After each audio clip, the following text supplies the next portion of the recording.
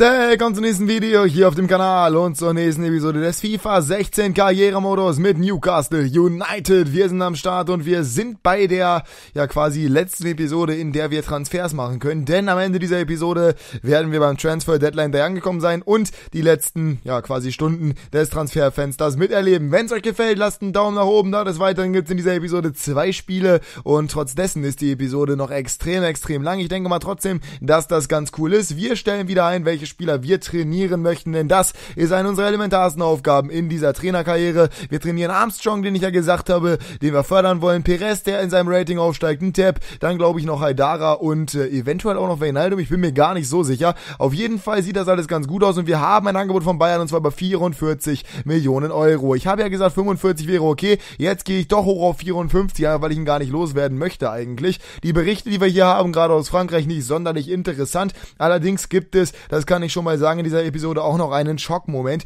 Und der hat mir wirklich richtig, richtig schlecht gefallen, beziehungsweise in gewisser Weise auch gut. Was ich meine, werdet ihr gleich sehen. Wir kommen nämlich genau. Ja, Sekunde noch, Sekunde noch. Wenn es euch übrigens gefällt, Daumen nach oben. Moment, ich, noch gar nicht gesagt, weiß ich nicht genau. Auf jeden Fall kommen wir wann dazu? Wann kommen wir dazu? Wir müssen erstmal weiter drücken. Jetzt drücken wir auf weiter. Wir kommen jetzt dazu. Denn, passt auf, passt auf, die Bayern Nee, die Bayern nicht. Okay, alles klar. Sporting Lissabon, 50 Millionen. Dann kommen wir gleich dazu. Ich denke mal, ihr könnt euch jetzt schon denken, worum es geht. Die Bayern wollen sie eventuell Pato gar nicht mehr haben, wollen sie die 45 Millionen nicht bezahlen. Oder nehmen Sie etwa 54 Millionen für Alexandre Pato an. Genau das tun Sie. Das heißt, unser Brasilianer ist weg, wenn Sie die Vertragsverhandlungen erfolgreich gestalten. Das wäre extrem bitter für uns, denn damit wäre unser bester Torjäger weg. Wir müssten den ersetzen, kurz vor der Transferperiode. Ob wir das schaffen, ist die Frage. Ob das Ganze realistisch bleibt, ist auch eine große Frage. Wir werden sehen. Jetzt spielen wir erstmal im Pokal gegen Port Vale. Das heißt, unsere B11 spielt unter anderem mit Dix als Rechtsverteidiger und Perez auf der 10, genauso wie auch Ronaldo Aarons im rechten Mittelfeld. Ich bin gespannt. Ich hoffe, ihr auch. Ich hoffe, wir kommen in die nächste Runde. Runde. Ich wünsche euch viel Spaß und wir sehen uns unter anderem mit Vernon und Anita dann gleich wieder.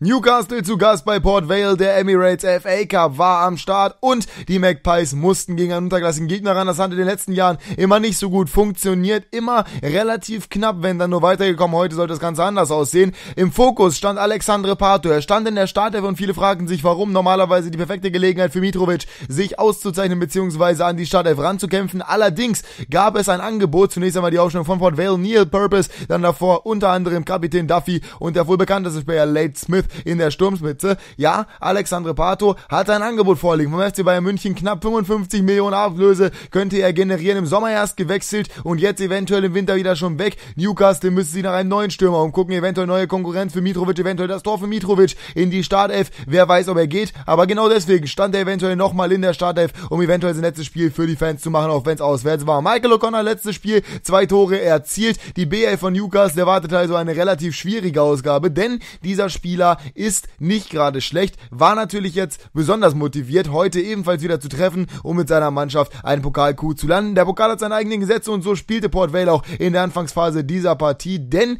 die ja, unterklassigere Mannschaft hatte die erste Chance der Partie. Das ist Perkins, der spielt den Ball in die Spitze, das ist Daniel und da ist Foley und der zieht einfach mal ab, aber Tim Kröll muss da noch nicht eingreifen, es blieb erstmal beim 0 zu 0. Andere Seite Alexandre Pato auf Musa Sissoko, der mit der Flanke, allerdings kommt Aaron Stan nicht mehr ran. Es mangelte so ein bisschen an der Präzision bei Newcastle in der Anfangsphase. Das war das größte Problem. Ball kommt auf Außen auf den Tap, der bisher noch nicht so wirklich angekommen ist beim englischen Erstligisten. Allerdings kämpft er sich immer weiter rein, versucht hier auch gut dazwischen zu gehen. Es wird allerdings nichts. Es kommt sogar auf der Gegenseite ja nochmal zu einem Angriff und zwar über Moore, der zurück auf Purgis, der nochmal zurück auf Moore und dann die Balleroberung von Jack Colbeck. Der spielt den nach vorne. Ayose Perez ist das, der sich hier klasse durchfällt im Mittelfeld gegen O'Connor, der ja wie gesagt zuletzt zwei Tore erzielt hatte. Ball nach außen auf Colbeck und es ist Halbzeit. So bitter kann das laufen. Erste Halbzeit keine wirkliche Chance für Newcastle. Und gerade als sie aufs Tor zugehen, pfeift der Schiedsrichter zur Halbzeit. Port Vale machte das wie gesagt sehr gut. Der Doppeltorschütze unter der Woche, Michael Connor von Port Vale, bisher noch überhaupt nicht in Szene. Auf der anderen Seite aber auch Alexandre Patou sehr, sehr unauffällig und durchsichtig. Das Ganze sollte in der zweiten Halbzeit besser werden. Florian Thauvin kam für Ronald Aarons in die Partie. Newcastle stellte um auf ein 4-3-3-4-System anstelle des gewohnten 4-2-3-1 und damit hatten sie ein bisschen mehr offensive Durchschlagkraft. Das ist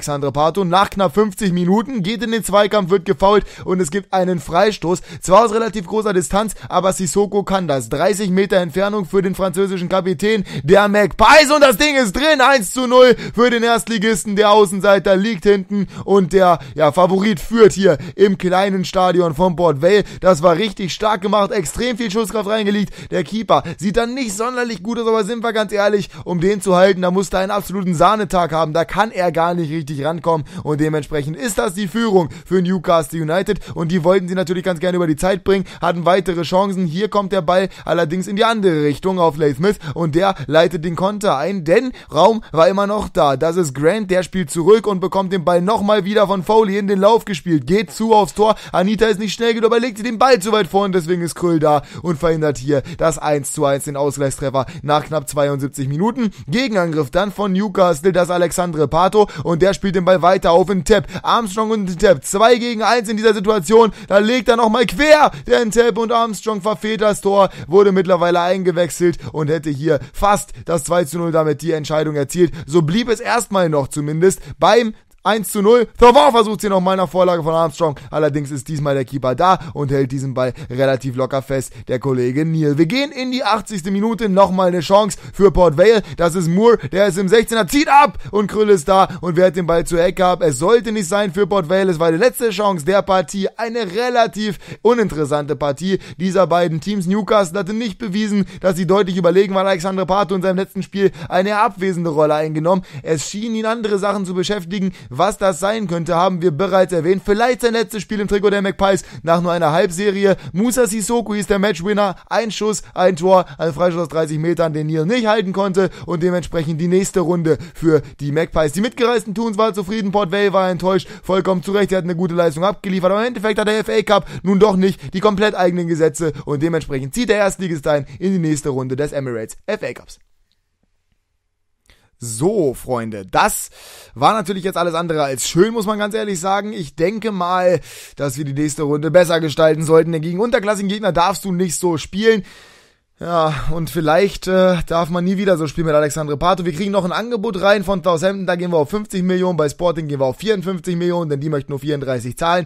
Pato ist ein Mann von Interesse und eventuell hätten wir ihn nicht abgeben dürfen, beziehungsweise hätten mehr ansetzen müssen für die Bayern. Aber ich hatte ja schon mal ein Angebot über 50 Millionen, das haben sie nicht akzeptiert. Deswegen habe ich gedacht, wenn ich 54 gebe, dass sie dann gar nichts mehr akzeptieren würden. Haben sie aber gemacht und dementsprechend haben wir jetzt ein Problem, denn wir müssen neue Stürmer suchen. Und dummerweise ist Kokorin, bei dem ich wusste, dass der super ins System passen würde, ist schnell und und so weiter und so fort und könnte sogar 10 ab und zu mal spielen. Das heißt, mit Armstrong sie abwechseln oder mit Perez, ja, der ist leider Gottes ein vertragloser Spieler nächsten Sommer und wechselt dementsprechend zu, naja, Crystal Palace, im direkten Liga-Konkurrenten und dem Verein von Lampadio. Alles andere als schön, wir versuchen es mit anderen Spielern, unter anderem Abu Bakr. Zunächst einmal müssen wir aber Pato verkaufen, damit wir überhaupt Geld haben und das kann sich noch ein bisschen hinziehen. Natürlich sehr, sehr unglücklich für uns, denn so können wir nicht verhandeln und so können wir zumindest vor dem nächsten Spiel keinen Spieler mehr in unsere Startelf bzw. in unseren Sturm beordern und müssen dann eventuell schon nur mit Alexander Mitrovic in der Sturmspitze spielen und das ausgerechnet gegen Manchester United, den Verein, der momentan in der Tabelle vor uns steht. Das Training schließen wir relativ erfolgreich ab, nur ein Tab und Armstrong mit schlechten Noten mit D und D, allerdings auch ein A in einer Trainingseinheit, das ist doch relativ schön. Und jetzt kriegen wir die Nachricht, Spieler verkauft. Alexandre Pato wechselt also tatsächlich für 54 Millionen Euro zum FC Bayern München. Wir kriegen 40 Millionen Transferbudget und müssen uns davon jetzt einen neuen Stürmer zulegen. Abu Bakr ist der Stürmer, den ich ganz gerne haben würde. Passt eigentlich relativ gut, ist ein starker Stürmer, ist schnell, ist kopfballstark, ist physisch gut, hat auch ein bisschen dribbling-technisch was drauf. Allerdings ist er natürlich wahrscheinlich auch relativ teuer. Porto verlangt immer relativ viel für ihre Spieler. Deswegen habe ich überlegt, wen könnte ich noch nehmen. Hab hin und her überlegt und dann ist mir einer eingefallen. Ben Yedda ist es nicht. Es ist Stefan Jovetic und zwar vom AC Mailand. Ist ja dahin gewechselt von Manchester City, wird aber nicht ganz günstig sein, denn normalerweise verlangt auch gerade die italienischen Vereine für solche Spieler, die in gewisser Weise einen Ruf haben, ähm, sehr, sehr viel Kohle und eventuell können wir uns den gar nicht leisten. Deswegen war das noch nicht alles, was ich mir überlegt hatte. Einen habe ich noch im Köcher, aber den sehen wir erst nach der Partie gegen Manchester United, glaube ich. Und äh, mal sehen, wie das Ganze bis dahin gelaufen ist mit Jovetic und natürlich auch mit Abu Bakar. Wir haben außerdem theoretisch noch das Geld für einen neuen Innenverteidiger. Haben momentan nur so gesehen Pogba und ähm, den Kollegen Bemba, weil Coloccini ja nicht spielt und Chan ja mehr oder weniger als Sechster gesetzt, beziehungsweise gar nicht, weil er schlecht in Form ist. Wir stellen übrigens die Formation um, und zwar auf 4-3-3-4. Das ist unser neues System, das will ich etablieren, mal sehen, wie das so funktioniert. Ist an sich ganz cool. Wir probieren es aus gegen Manchester United. Ich wünsche euch viel Spaß, hoffentlich keine Niederlage und bis gleich. Oder auch nicht. Jetzt bis gleich. Oder? Oder kommt noch was? Nee, jetzt bis gleich. Okay. Newcastle United zu Hause gegen die Red Devils. Das auswärtsstärkste Team der Liga war zu Gast bei Newcastle United im St. James's Park, dem Wohnzimmer der Elstern. Und natürlich wollten die Red Devils ihre positive Auswärtsbilanz heute weiter fortschreiben. Stehen nur einen Tabellenplatz vor Newcastle, vor MGT, der auf seinen stärksten Stürmer verzichten musste. Alexandre Pato für 45 Millionen, für 54 Millionen Euro gewechselt zum FC Bayern München nach Deutschland. Nur eine Halbserie musste man nun also auf Alexander Mitrovic setzen setzen. Man war in Verhandlungen mit neuen Stürmern. Vincent Abu Bakar, nur einer der Namen, die so rumschwirrten bei den Engländern. Allerdings, ja, wie gesagt, heute gegen das stärkste Auswärtsteam der Liga mit nur einer Spitze und vor allem mit einer Spitze, die momentan nicht so die Spielpraxis hat. Der Serbe Alexander Mitrovic vor der Saison gekommen von Anderlecht, bisher nicht so wirklich an die Erwartungen rangekommen. Anders auf der anderen Seite, ja, Wayne Rooney, der Kapitän der Red Devils, spielt momentan nicht so gut, aber er führt seine Mannschaft regelmäßig zu Siegen. Kröger, Mbemba, Pogba und Colbeck in der Defensive, dann eine Systemänderung Sissoko und TOT im zentralen Mittelfeld auf der 10 bei Naldum und auf den Flügeln Thauvin und ein Tap, während in der Sturmspitze Alexander Mitrovic stand. Er sollte unterstützt werden von schnellen Flügelspielern, ist ja nicht der schnellste, der Mitrovic, zwar physisch stark und kopfballstark, aber halt nicht schnell genug und dementsprechend sollten dafür die beiden Flügelspieler sorgen. Neues System also auf Seiten von Newcastle, Romero, Damian, Smalling, Rojo und Shaw in der Startelf bei Manchester United. Davor Schweinsteiger blind, Valencia, Memphis Depay, Wayne Rooney in der Sturmspitze und dahinter überraschenderweise Andreas Pereira, der mexikanische Nachwuchsspieler von Manchester, stand erstmals in der Saison überhaupt in der Startelf und sollte gleich einmal zeigen, was er drauf hat gegen die Magpies in einem relativ wichtigen Spiel, denn es ging darum, den Vorsprung auszubauen für Manchester United. Wir springen rein in die erste Szene und die gab es auf Seiten der Magpies, die gut in die Partie reinkam. Das ist Mitrovic mit der Flanke, kommt allerdings nicht an. Das war ja schon gegen Port Vale das Problem, die Präzision in der Offensive. Es wurde allerdings relativ schnell viel besser. Ein Tap versucht sie mal nach 10 Minuten aus der Distanz und da muss ich Romero schon richtig lang machen. Das wäre fast das 1 zu 0 gewesen, aber der Franzose scheitert am Argentinier. Die anschließende Ecke reingebracht von Musa Sissoko. Das war der Anfang einer Eckenstaffette allerdings geklärt und die nächsten beiden brachten auch nichts ein. Dementsprechend zeigen wir die nicht weiter. Trotzdem spielte nun Newcastle nach vorne. Manchester kam nicht wirklich hinten raus. Davant allerdings mit der verunglückten Flanke. Wie gesagt, es fehlte die Präzision, es fehlte die Durchschlagskraft bei den Elstern. Ein Tepp versucht hier mal, macht das gut, dribbelt sich in den 16, aber auch bei ihm ist dann letztendlich der Abschluss, an dem scheitert, bringt den Ball nicht aufs Tor und dementsprechend weiter 0 zu 0 nach knapp 30 Minuten. Nach 35 Minuten dann kam Manchester mal nach vorne. Wayne Rooney spielt den Ball nochmal quer auf Andreas Pereira, der im 16er fast sein erstes Premier League Tor für die Red Devils. Aber Tim Kröll ist dazwischen und verhindert den Abschluss des Mexikaners aus gerade mal 11 Metern. Klasse Tat des Niederländers. Somit ging es mit einem 0 zu 0 in die Kabine. Das war weder das Ergebnis, was ich Manchester vorgestellt hatte, noch das Ergebnis, was dem Spielverlauf entsprach. Denn Newcastle war deutlich besser. Die größte Chance hatte zwar Manchester, aber die Magpies machten sich sehr, sehr gut auch nach dem Abgang ihres Topstürmers. Mal sehen, ob sie den ersetzen können. Im zweiten Durchgang sollte es besser werden. Es kam allerdings erstmal schlechter, denn plötzlich war Manchester aufgewacht. Wayne Rooney bekommt den Ball, zieht einfach mal ab und zum Glück ist Kröll richtig gut auf den Posten und hält auch diesen Abschluss des englischen Kapitäns. Andere Seite wieder ein Tap, versucht es mit einem Solo und versucht es mit einer Flanke und zwar auf Wayne Aldrin, legt nochmal in die Mitte. Mitrovic versucht mit dem Fallrückzieher, kommt aber nicht an den Ball. Es mangelte an Präzision und dann plötzlich doch nicht mehr. Ein Tap macht das klasse außen gegen Damian, ist ja Rechtsfuß, verliert zunächst einmal den Ball, holt ihn sich aber nochmal wieder und flankt ihn direkt in die Mitte und da ist Mitrovic, klasse Kopfball und klasse Tat von Romero, hält seinem Team zum zweiten Mal das 0 zu 0 fest nach der Klärungstat gegen den Tap bereits die zweite Aktion. Und im Tap, der kam direkt mal zum Kopfball hier, allerdings setzt er den Ball über das Gehäuse und dementsprechend weiterhin 0 zu 0. Dann Wechsel bei den Magpies, Chaik TOT ging aus der Partie, Adam Armstrong kam rein, dafür rückte Wijnaldum eine Position nach hinten, das heißt, Newcastle ging tatsächlich auf Sieg, brachte den jungen Stürmer gerade von der Laie zurückgekehrt. Und der sollte gleich nochmal einen Effekt haben, denn in der Offensive bekommt hier Mitrovic nochmal den Ball nicht, ein Tapgun mit der Flanke wieder zu unpräzise und Armstrong im Hintergrund, naja, der steht da ein bisschen unglücklich, Ball kommt nochmal zu Sissoko, Sissoko versucht es, allerdings wird er wieder abgegrätscht, klasse Arbeit von der Defensive von Manchester United, die war richtig, richtig gut dabei, auf der anderen Seite nochmal eine Chance durch Hector Herrera, äh, nicht an Hector Herrera, Anna Herrera, allerdings dieser Ball gehalten von Tim Krüll. Und dann die 90. Minute ein Foul. Und zwar gegen Florian Thauvin und zwar kurz vor der Strafraumkante, da hatte Marcos Rojo relativ riskant bekannt geklärt. Sissoko gegen Port Vale per Freischuss erfolgreich und dieses Mal deutlich über den Kasten. Die letzte Chance der Partie vergeben vom französischen Kapitän der McPies und damit endet diese Partie 0 zu 0. Manchester also kann die Auswärtsbilanz nicht noch mehr verbessern. Newcastle verschlechtert seine Heimbilanz nicht und beide trennen sich mit immerhin einem Punkt. Das bringt die beiden nicht wirklich weiter. Allerdings war es genau den Abstand, der vor der Partie herrschte. Romero hielt seine Mannschaft im Spiel. Auf der anderen Seite war es Kröll. Es gab nicht viele Chancen. Die Chancen, die es gab, waren aber gut. Armstrong wurde wieder eingewechselt. Vielleicht der Beginn einer großen Karriere für den jungen englischen U-Nationalspieler bei den Magpies. Müller konnte in seinem ersten Spiel bei Manchester United eingewechselt nicht überzeugen. Das muss auf jeden Fall noch besser werden. Aber es bleibt ja noch Zeit für den deutschen Ex-Bayern.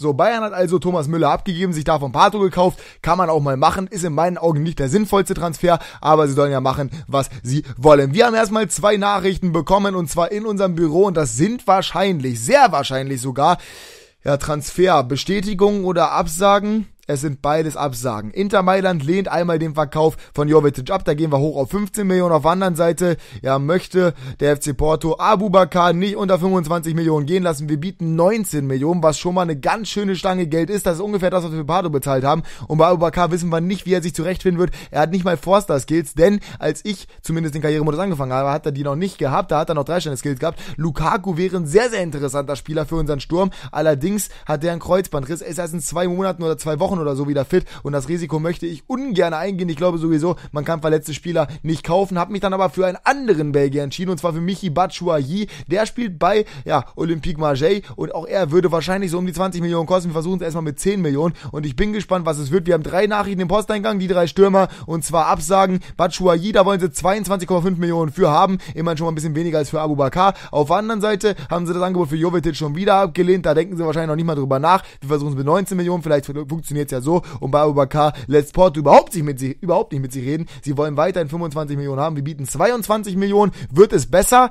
Es sieht besser aus. Denn sowohl Porto als auch Marseille haben das Angebot akzeptiert. Inter möchte 39 Millionen haben. Das werden wir nicht ausgeben. Allerdings machen wir Angebote. Und zwar sowohl für Michi Batshuayi als auch für Vincent Abubakar. Ihr könnt mir gerne mal in die Kommentare schreiben, welcher Stürmer meint ihr wäre besser gewesen. Ich kann euch aber schon mal sagen, bereits in dieser Episode wird noch eine Entscheidung fallen. Denn wie gesagt, wir haben den Transfer Deadline und ich würde ganz gerne die Transferphase in dieser Episode fertig machen und dementsprechend bleibt es im Endeffekt meine Entscheidung. 70.000 und vier Jahre, ähm, ja 70.000 galt und vier Jahre Vertragsdauer für den Kollegen Batshuayi, für Abubakar auch vier Jahre Vertragsdauer und ein bisschen mehr Gehalt mit 90.000.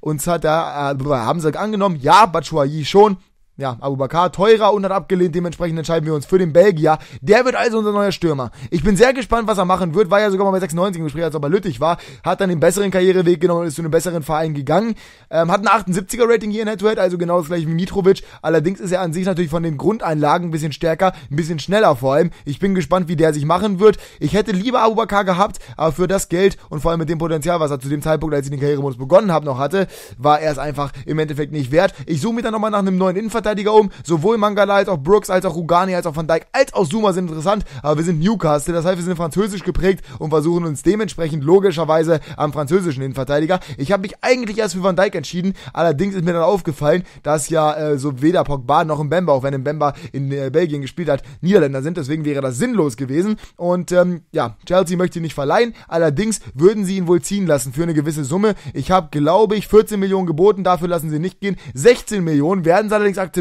und ich entscheide mich tatsächlich dafür, dass ich ja Kurt Zuma mir holen möchte und das wäre dann ein richtig guter Transfer. Williamson können wir noch abgeben, das heißt, einen Innenverteidiger sind wir auch noch los, können dafür einen neuen holen. Das wäre natürlich ideal, denn Pogba spielt zwar gut, Mbemba auch, aber teilweise brauchen wir eventuell mal einen Ersatzspieler und damit haben wir jetzt Kurt Zuma. 77er Rating, 21 Jahre alt, mega vielversprechendes Talent. Ich bin sehr gespannt, wie der sich so machen wird bei uns. Wir haben also im letzten Transfer Deadline nochmal richtig zugeschlagen. Zwei extrem starke Spieler geholt mit Batshuayi und natürlich auch mit Kurt Zuma. Es ist vielleicht bei Zuma ein bisschen unrealistisch. Batshuayi finde ich gar nicht so unrealistisch. Und ihr schreibt mir in die Kommentare, findet ihr es schlimm, dass ich auf eigene Faust gemacht habe? Findet ihr es schlimm, dass wir Bato abgegeben haben, auch wenn ich am Endeffekt wenig gegen machen konnte, weil ich konnte ja nicht einfach irgendwie zurückgehen und nicht speichern. Das wäre irgendwie ein bisschen unrealistisch gewesen, beziehungsweise un, ähm, unreal. Unreal, kann man Unreal sagen. Unehrlich. Ja, ihr wisst schon, was ich meine gewesen. Und von daher versuchen wir es auf diese Art und Weise. Ich bin auf euer Feedback gespannt. Wenn es euch gefallen hat, lasst einen Daumen nach oben da. Und wir sehen uns bei der nächsten Episode wieder. Dann mit unserem belgischen Stürmer. Ich wünsche euch noch einen wunderschönen Tag. Bis dann. Haut rein. Habt richtig viel Spaß im Karrieremodus. Und ciao. Viel Spaß im Karrieremodus. Und ciao. Viel Spaß im Karrieremodus.